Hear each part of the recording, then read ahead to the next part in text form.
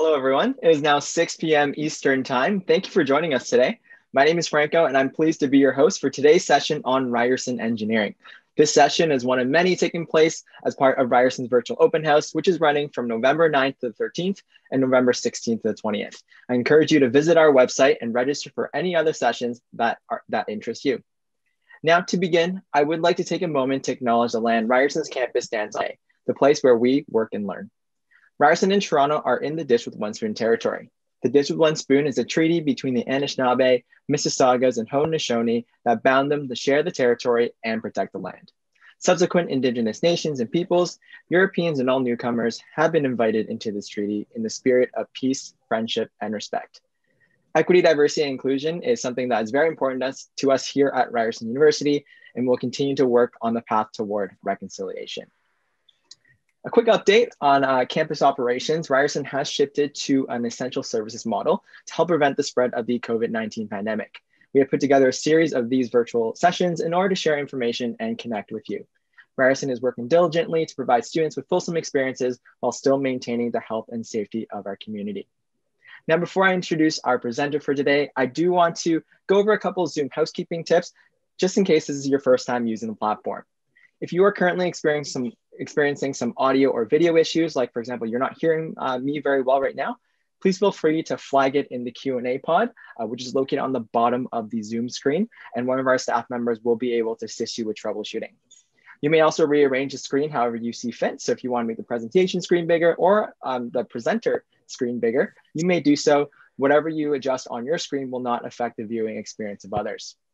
We have also enabled closed captioning to ensure accessibility. So if you do require closed captioning, please select that option also at the bottom of your Zoom screen. And also note that all of our virtual open house recordings uh, sessions are recorded and they will be available uh, for viewing on our website later on. Now, I understand that many of you uh, have a lot of questions about our engineering programs, which is fantastic. Today, our presenter, Jeff, will actually be going over everything from program information, co-op, to scholarships, and also the admissions process. So I invite you all to sit back, relax, and we'll take your questions towards the end of our session. So now I'd like to invite uh, Jeff Capel from our Ryerson Engineering Admissions team to get us started. And welcome, Jeff. Awesome. Thank you. Hi, everyone. Uh, welcome to the session on Ryerson Engineering. Um, as was mentioned, my name is Jeff Capel, um, and I am a senior liaison slash admission officer for Ryerson Engineering. Uh, so basically what that means is that um, I'm pretty lucky is half my job. I get to go to high schools or, or Zoom to high schools and Zoom into your living rooms and dining rooms and talk to you about all the different engineering programs that we offer at uh, Ryerson. And the other half of my job is pretty cool because I'm actually one of the people who uh, will be making the decisions to um, your offers. So no pressure there. um, but the good thing about that is that you are going to get the information from the horse's mouth. So everything I say is what we're looking for. And then in the back, I also have uh, my team and my colleagues who are fully equipped to answer any admission questions that you might have. As Franco said, we're going to be covering a ton of information in the session. So um, hold off on your questions because I will probably get to it. If you have anything that's burning, feel free to type it in the chat. Um, we want to make sure that you get everything that you want and need out of this session. One of the biggest things to note is that you can download our engineering handbook, um, and that's available at ryerson.ca slash askeng. So it's the website right there, and that'll allow you to follow along with the session. This is also your one-stop shop website for where you can get one-on-one -on -one advising with an admission officer. You can email us, uh, you can even get that handbook and it'll tell you about different events that we're hosting as well uh, virtually because we have a good lineup set for you. But in regards to today, we're going to be talking about uh, engineering at Ryerson, admissions, scholarships, co-ops, student supports, the whole shebang. Uh, so hopefully you'll get everything that you need. Now, before I start, you know who I am. So I'm the admissions guy. Um, I think there's a poll already that I might have accidentally started, but just looking to see who's here with us today. Um, so, which is great. It looks like we have a lot of students who are looking for 2021 um, and some future students as well, a transfer student. So we'll cover as much as we can um, for sure. I shared the results there with you. And I have another poll question for you that I want to ask. Where is everyone coming from? So we're looking, are you in Toronto? I'm right downtown right now, literally about five to eight minutes from campus. Maple Leaf Gardens, the Loblaws there is my grocery store, which is pretty cool. Uh, but I'm zooming live from my dining room, which is also uh, pretty interesting. So a lot of Ontario, some outside of Ontario, um, and outside of Canada. Great. So it looks like we have a, a nice mix of people. Um, so, and I realized that I didn't share that with you. So here are the results. So kind of a mixed bag, uh, which is awesome. But either way, this presentation pretty much applies to everyone. Just when we get to the admission section, the people who are outside of Canada and outside of uh, the province might just have a, a few different things um, that we'll be looking for. So uh, just keep that in mind, but we will cover everything for you. Um, and just moving into kind of the presentation and why we're all here. And it's really looking at why do you want to be an engineer? What is it about engineering that really kind of gets you going that you're like, hey, I'm going to give up my dinner time, although you might be at your dining room table eating your dinner.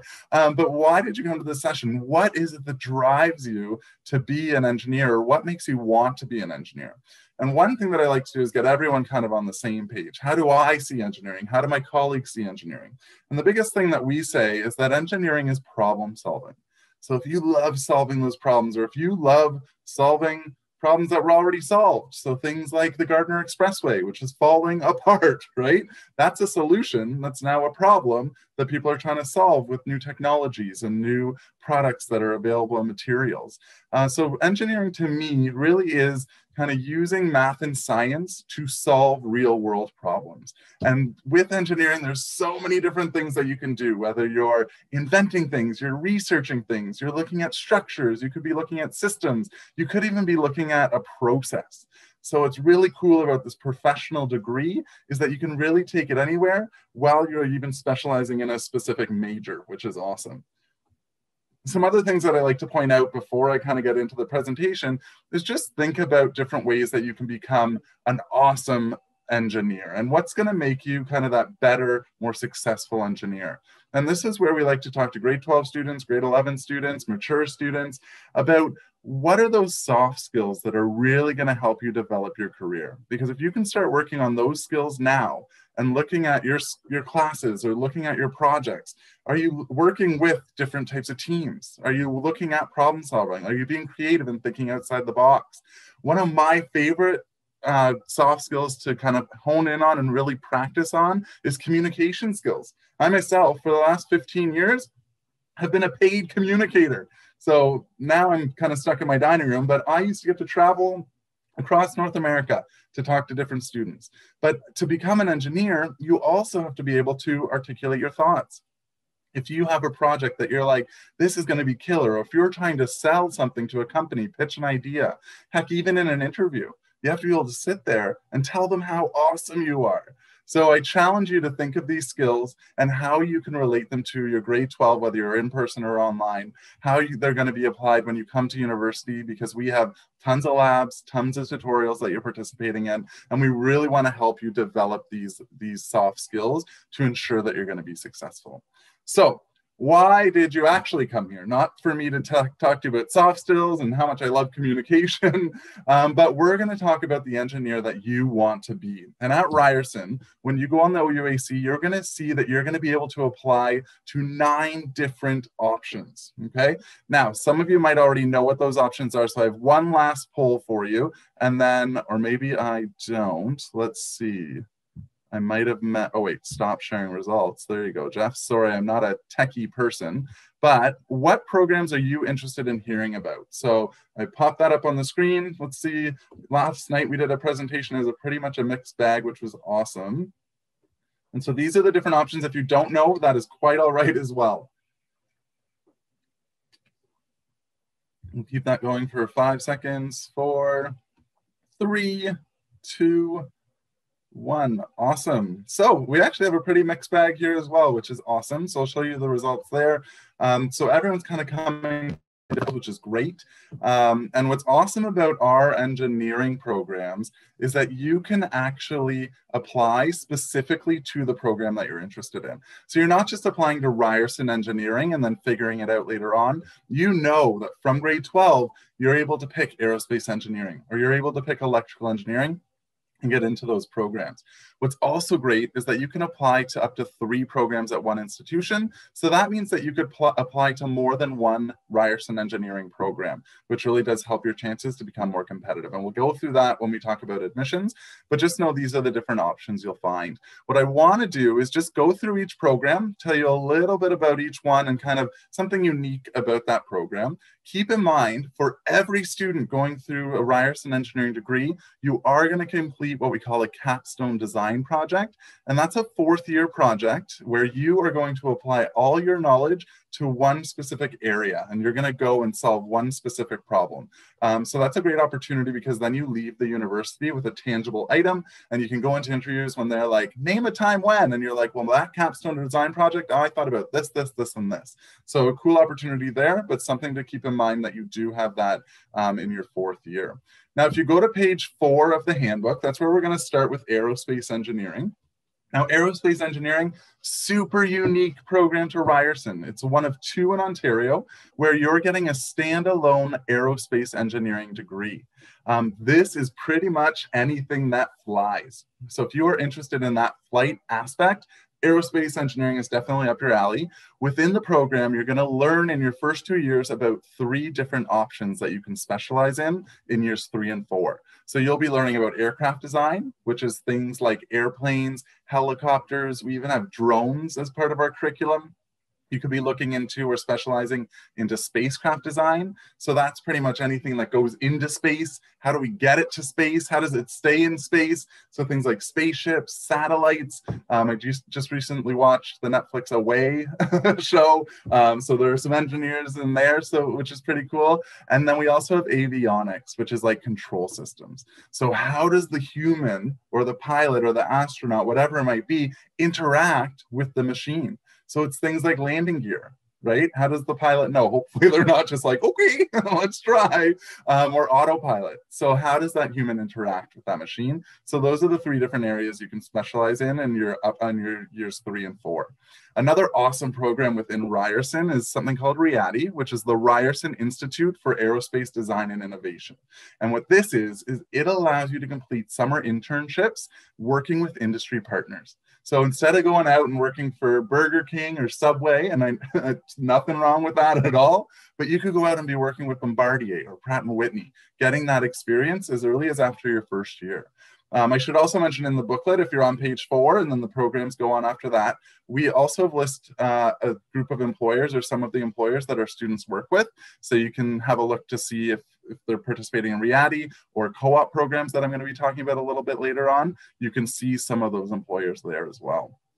Now, my favorite engineering program at Ryerson is biomedical engineering, and that's because I actually come from a disability studies background. And biomedical engineering is pretty much taking healthcare and engineering and you're mushing it all together. you're trying to find ways that people can live better, longer lives, which is awesome. So you could be looking at things like medical imaging. You could be looking at developing artificial organs, prosthetics. One uh, group for their capstone design project, they actually created a brain-controlled prosthetic arm. So back in the day, prosthetics would just kind of be there, serve their purpose, but now they can be fully functioning just based on our thoughts as well.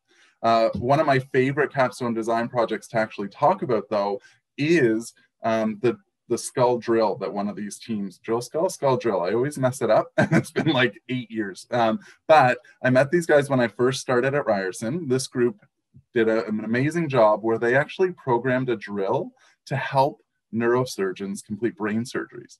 So what they were doing they programmed this drill so it can go through the skull gross but it was programmed to detect brain matter. So once it got a certain distance away from the brain it would automatically stop so this is awesome because for the surgeon, it's a less intrusive uh, brain surgery, but also for the patient, recovery time will hopefully be a lot quicker because you're looking at maybe a pinhole through the skull, right? Kind of gross. But I picture brain surgery as like a saw being like, and there, there's the brain.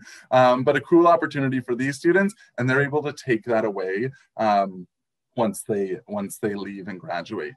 Now, one of the more broad engineering programs that we offer is chemical engineering. And I say this is broad because it's pretty much converting raw materials into more useful forms. So you're looking at things like making plastic stronger. You're looking at food processing. So like Mr. Noodles, right? How do we have that pocket of Mr. Noodles and we just pour water on it, boiling water, and it's a delicious meal, right? Um, also wastewater treatment plant. In a student's fourth year in chemical engineering, you'll actually create a prototype and enter it into a competition uh, to see who can have the, the, the best filtered water. You'll notice chemical engineering does have uh, the co-op in its title. And the reason for that is because it's a mandatory co-op. So you'll complete four-month placements throughout your degree, and you must complete those to get the degree. And they go in the typical co-op structure where you do two years of the program, you then go to a co-op for four months, you work, you get paid, you barely worry about school, then you come back and study for four months, work for four months, study for four months, work for four months, work again for four months, study for four months. So you do get up to uh, 16 to 20 months experience before you graduate. Now, one of the more traditional engineering programs that's been around for a while is civil engineering. And the way that I describe civil engineering is it is pretty much anything that does not move. Okay, so if you are a civil engineer, you could be looking at buildings, bridges, highways. You do not want those things to move. The only time you might want to do that is if it's a drawbridge, right? that is the only time you want um, your structure or your, your solution to move. Um, within the program, there are three different streams that you'll learn about in your first two years, and then you'll specialize in one of the three in your upper years, whether it be structural, environmental, or transportation. So it allows you to take that traditional engineering degree and then specialize into a specific area. Now, one of the more up and coming programs, if it's not already here, is computer engineering. I say that because I'm zooming into your house right now. Creepy, right? Um, you're zooming into mine. You see the ram right on my painting there. my dog is just right over here. Um, but computer engineering, pretty much it's ones and zeros. Um, you're using ones and zeros to change the world. So you could be looking at things like digital systems, you could be looking at embedded systems. The biggest thing to note about our computer engineering program is that it contains software engineering and hardware engineering, and it's kind of combining both. So you're finding the marriage between the two. If you're really interested in that software engineering aspect, computer engineering does have an option where you can specialize in your upper years. So important to note, it's a computer engineering degree, which deals with hardware and software. But if you wanted that programming software side of things, you can jump into that in your upper years. Now, very relatable to computer engineering is electrical engineering. Electrical engineering is pretty much using magnetism and electricity. You're looking at the transfer of power. So you're looking at energy systems, uh, multimedia systems. So we talk about how I'm zooming, but I also have another screen over here and I'm in Toronto and I'm outside of Canada right now, apparently as well. Um, but a lot of cool options there. Within your upper years, robotics also becomes a very uh, distinguished interest for students. So we do have a robotics stream. And what robotics is, it's kind of the uh, mechanical side of electrical engineering. So if you are interested in robotics, you'd be applying for the electrical engineering degree, and then you can jump into um, robotics after that. I'm seeing a lot of questions about cutoffs, and I'm gonna get to admission shortly, so just hold off. um, one of my, or my second favorite program at Ryerson, and I swear they're not all my favorite, um, but is industrial engineering. So industrial engineering to me is kind of the business aspects of engineering. So you're learning the management side of things, but you're also learning the engineering concepts. Um, so with industrial engineering, I think of efficiencies and effectiveness. So you really are looking at improving systems. You're looking at project management. A lot of people, when I say this, uh, industrial engineering, they think assembly lines, and that's definitely an option. So it could be looking at an assembly line and how efficient it is, where a machine should be doing the work or where a human should be doing the work. But it's also looking at things like importing and exporting of goods. We had a co-op student who actually worked for, and I always confuse them, but it's either Molson or Labatt's, and they were look, working with engineers from Mexico and Germany to work on the importing and exporting uh, process. And once they were done, the boss said, okay, make it better. um, even just down the street at the Maple Leaf Gardens Loblaws, uh, this is where um, I go for my grocery shopping, and they used to have all these checkouts with cashiers at the end. Well, they took out three of those lines and put in 16 different self checkouts. So, an industrial engineer looks at how can a company make more money? How can it be more efficient for the customer to come in and out of the, of the grocery store? So, even now, back in the day, I wouldn't even just go for a bag of chips, let's say. Um, but now, especially during COVID times, I'm for sure going for just a bag of chips because I know that self checkout with 16 tellers is now going to be more efficient and more effective. So just think about those, those ways that people can make, I guess, more money for a business. Now, the last degree program that we offer is mechanical engineering. And so mechanical engineering is pretty much anything that does move. So civil engineering does not move, mechanical engineering, everything that does. So you are looking at things like heating and cooling systems. You are looking at engines, machines, motors. Um, so things like manufacturing, thermodynamics. Within this program in your upper years, you can focus in on mechatronics.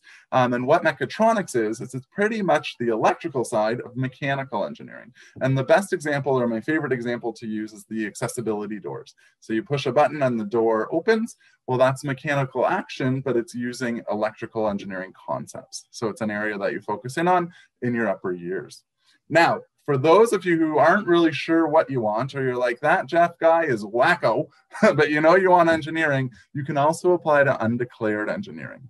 It's important to note that this is an entry option only, so you cannot get a degree in undeclared engineering.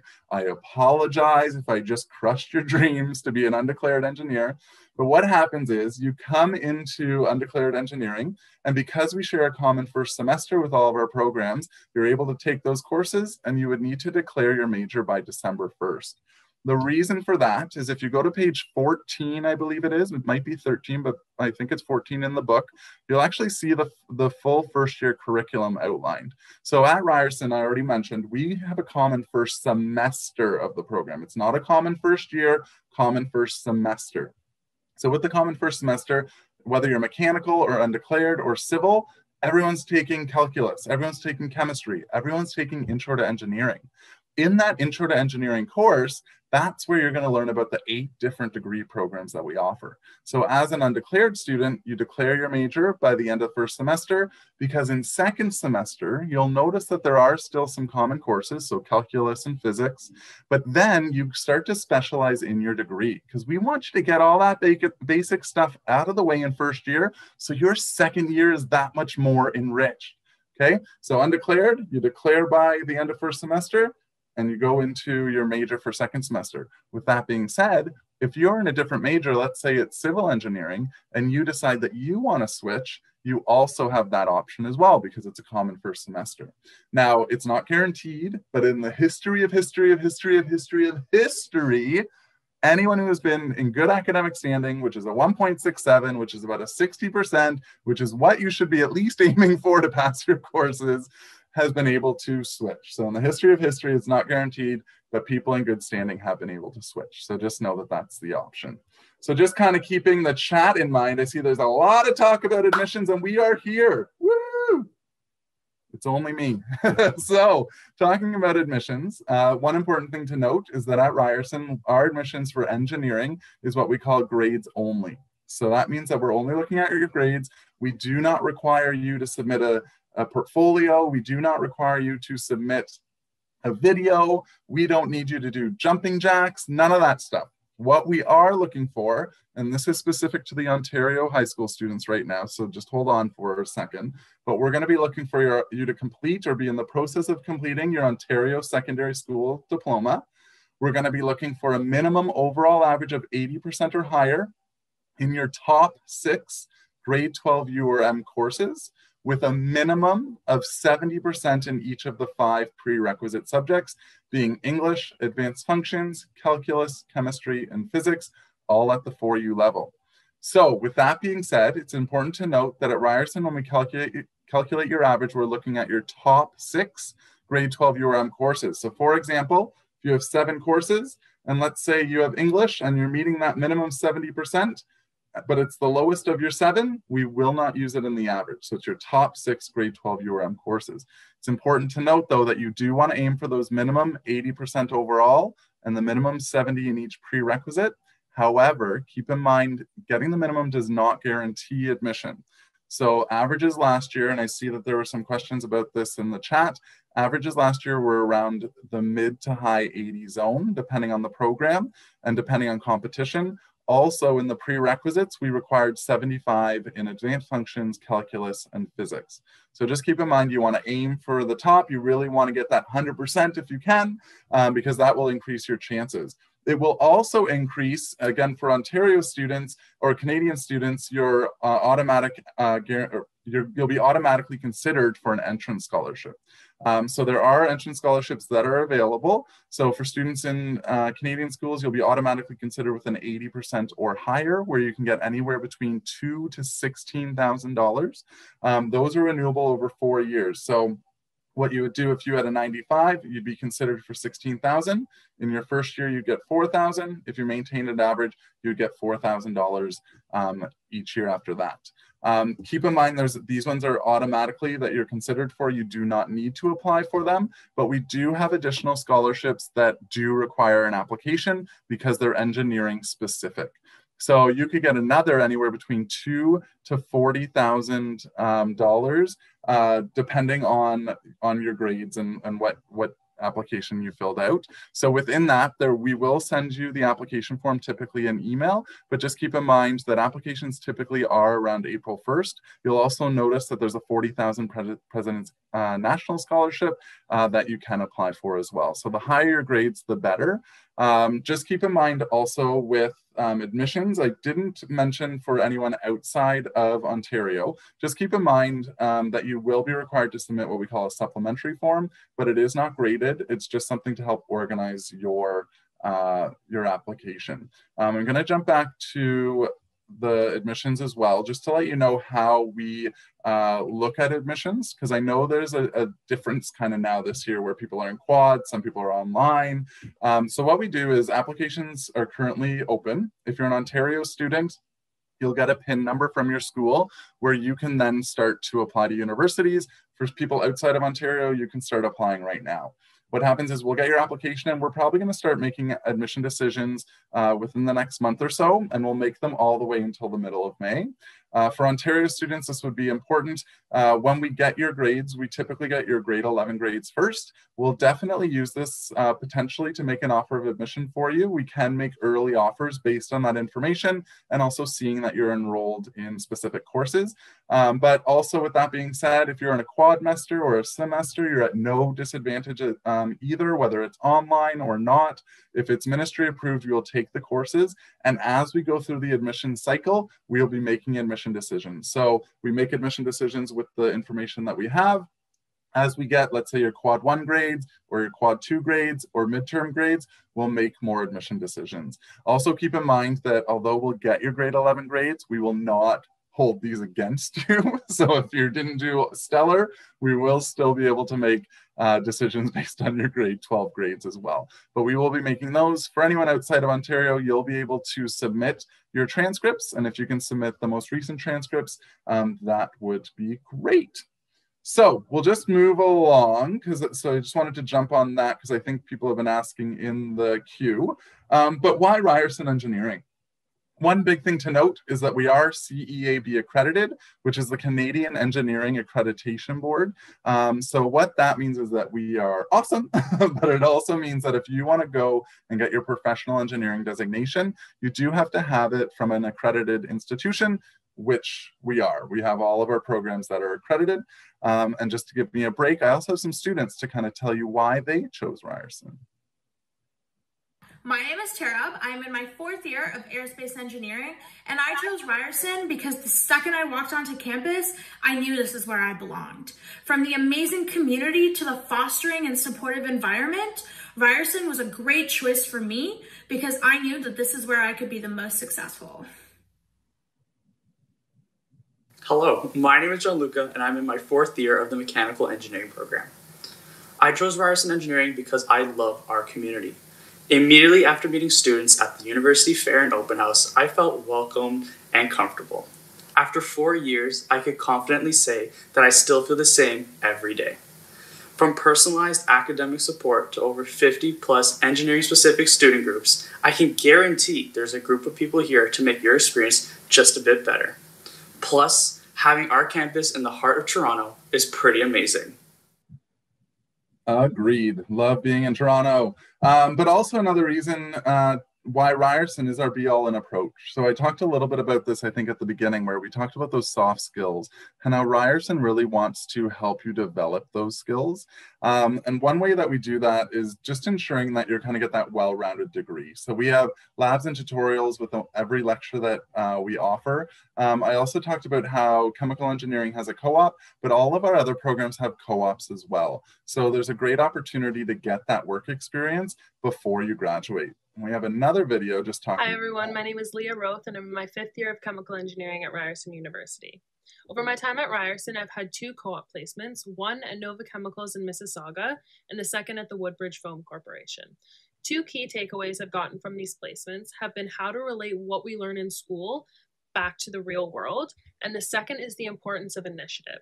Because in order to get the most out of these placements, you need to create your own opportunities to learn, and you do this by taking on as many different tasks as you feel that you're able.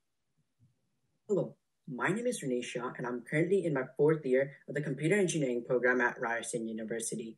I'm currently doing my internship at IBM as a cognitive software developer, part of the IBM Federated Learning team. My favorite part about my internship so far has been getting the opportunity to learn from industry professionals and being able to contribute to federated learning projects. And some of the skills that I've learned throughout this have been Jenkins, Docker, Kubernetes, OpenShift. I've learned a new programming language called Scala, and I've been able to explore technologies such as IBM Cloud and IBM Watson machine learning. Awesome. I love that he had a I Heart AI shirt on. It was awesome. Um, so talking about co-ops, there is a co-op option for all of the engineering programs that we offer. I talked about chemical already, how it's a mandatory co-op and you'll complete four month placements throughout the degree.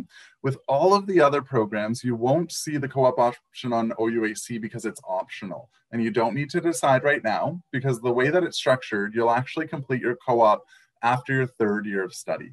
So you'll do three years of the program. You'll then go and work for your fourth year and get paid. You don't worry about school that much. And then you come back for your final year, turning the four year program into five years. Um, what's great about that, though, is you're working with a company on lo longer projects and it's after your third year. So you're that much closer to being an engineer. So the projects are hopefully going to be more in depth. Uh, if you're interested in a co op, you get in touch with your department in about the summer after your second year and the beginning of your third year, and they'll talk to you about different ways that you can take advantage of our resume workshops, our interview workshops, the job boards that are available. So um, there is a lot of opportunity and a lot of support to gain those co-ops. And I mentioned in um, the booklet, if you go back to the program pages, you'll actually see the industry partners that some of our students work with and some of the jobs and the job title, excuse me, that our students get. So there is co-op. It's an option if you want to do it for anywhere between 8 to 16 months, which is great. Another way that we want to make sure that you're the best engineer that you can be is by supporting you. So we understand that the transition from high school to university will be an interesting one. Um, so we've actually developed the first year engineering office, which is dedicated to the first year class um, and the first year students. So within that office, they go as far as registering you for all of your first year core engineering engineering courses where you just have to register for your one liberal studies course. Within there, we have academic advisors, we have personal counselors, we run transition programs. So even in the summer, we ran a boost program where within that was a math mini course, a physics mini course, and a programming mini course, which happened during the months of July and August. So you can definitely take advantage of that. The first year office will tell you all about it in the summer. You'll also see on the screen our first year um, ambassadors for engineering. So they're active right now. You can go to the website and even email one of them. If you see someone in a year or a program or a background that you're really interested in, you can connect with current students right now. Another way to get involved, and I highly encourage this aspect, is becoming a part of a team or a club. And within our engineering programs, we have options for any program that you're in, there's a club or a team that's associated with it. So if you're looking at something like a concrete canoe team, where these are a bunch of students who built a canoe out of concrete so it can float and they can get in it and go across Lake Ontario. Um, the Formula Racer, they build a race car from scratch. Um, and this year they're actually building their first electric race car, which is kind of cool. The important thing to know with this is that you don't have to be in a specific program to be in a specific club. So something like the Formula Racer, you might think is mechanical, but we have mechanical students, computer engineering students, electrical engineering students, business students for marketing in that club as well. Something important to note is also RES, which is our Ryerson Engineering Student Society. So they're like a student council on campus where they pulled off an awesome online orientation this year. They run different charity events and they really do make sure that you're um, super involved in the Ryerson community. So great different ways to get involved. And we have the Associate Dean who actually will say a few words and show you some videos um, of these teams as well. Hello everyone, I'm very excited to share our student experience with you through this video. I certainly look forward to celebrate your success as one of our own students in the very near future. Students Team is one way through which we engage our students in activities that promote their analytical skills and allow them to apply what they learn in classroom to real life situations. They do so in an environment that is enjoyable, safe, inclusive, and full of innovation. Members of Ryerson Formula Racing Team work together to design and build a Formula style race car. Every year, our team compete in a number of racing events, including the annual Michigan competition of Formula Society of Automotive Engineers. Ryerson unmanned aerial vehicle team design aerial vehicles that can be used to deliver medical supplies or collect data about wildlife. Through the design process, team members learn how to think out of the box and challenge themselves. Our robotics team designed robotics that have multiple applications and the potential for a positive societal impact. Members expand their practical engineering abilities, which will enable them to contribute to the industry upon their graduation. Chemical E-Car team applies state-of-the-art technologies towards the design of a sustainable car. In addition to expanding on their technical skills, team members aim at increasing awareness of the chemical engineering discipline among the general public and youth in particular. The concrete wagon team use, use concrete and other construction materials to design and build a safe, fast, stable, lightweight, and strong toboggan. Their design captures different disciplines of engineering, including structural and material design. Awesome. So hopefully that just gave you a glimpse as to what some of our student teams do. Um, it's great because they actually get to go and compete against other universities as well. Um, but with that being said, it pretty much covers everything that I want to talk about and what I think is really important when you're trying to choose an engineering program, um, specifically hopefully at Ryerson. Uh, but just to reiterate, my name is Jeff Capel and I'm one of the admission officers for the engineering programs here. Uh, our one-stop shop website is ryerson.ca slash askeng. Again, if you have any questions about your application or you're not really sure about what program or you're not sure about what's going on with your application, on that website you can actually book a one-on-one uh, Google Meets uh, appointment. You can also see any upcoming events that are happening. Also, I'll leave you with our email, which is askeng at ryerson.ca. Um, and that literally will go to four of us in the office. So we're constantly checking that email. We're pretty good at getting back to people within 24 hours. So again, if you have any questions, please feel free to let us know. We're definitely here to help. It's kind of cool that I get to zoom into your house uh, talk to you a little bit, a bit, and then we're the ones who are making the decision. Um, also speaking about different opportunities and events that are happening, right after this. So I'm literally like logging off at some point in about 10 minutes to jump into our co-op session. Um, and then we also have our engineering student experience, uh, which is happening in two weeks. So if you wanted to register for any of those, uh, don't worry, I'm only going to speak for like five minutes in each of them, so you don't have to hear me again. But there's the website at the bottom. It's uh, actually probably the same website that you registered for this event today, but there are different options to learn a little bit more about the student experience and what uh, you can get involved in at Ryerson. Um, so with that being said, we're gonna leave it at the, oh, how did Jeff get his position? I just saw on the Q&A. Um, we're gonna leave that there. I think Franco might be coming back, um, but I see that a lot of questions have been answered, which is awesome. Yeah, I'm back. Uh, thanks, Jeff, for that presentation. Um, there is one thing, uh, wondering if you can help us uh, answer or talk a little bit more about. We did receive a lot of questions tonight about early offers of admission. Um, so you could, can you tell us kind of how that works? What's that process like? Yeah, so early kind of means in the next few weeks. We're literally wrapping up our recruitment season, which is a little bit sad, but um, I'm in my dining room. We start looking at applications probably within the next month or so. Um, probably maybe even sooner than that. But what early admissions just basically means that if you did apply, we will try to make admission decisions based on the information that's provided. So for an Ontario student, that means getting your grade 11 grades. We will look at those. And if you have a competitive average, um, typically let's say 85 or higher, but there's many factors that come into play, we might be able to offer you admission. Um, if you don't receive an offer, do not worry because we are constantly looking through applications. And as information comes available and as we find that more competitive grades are available, we make more offers of admission.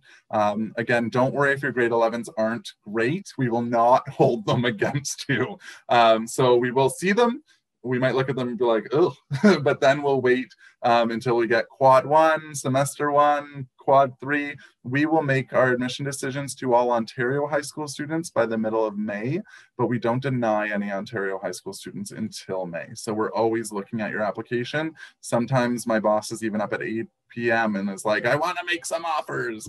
Um, so, and she does that. So um, we're definitely going to start the process soon. But we can't offer you unless you apply. So if you have your PIN number, go ahead and apply because applications are available. Awesome. Thank you so much, Jeff. Actually, another question that just came up is I, I don't know if this was mentioned in the presentation, but when is the due date for the applications? When should our students be applying for? Like, when should they apply by?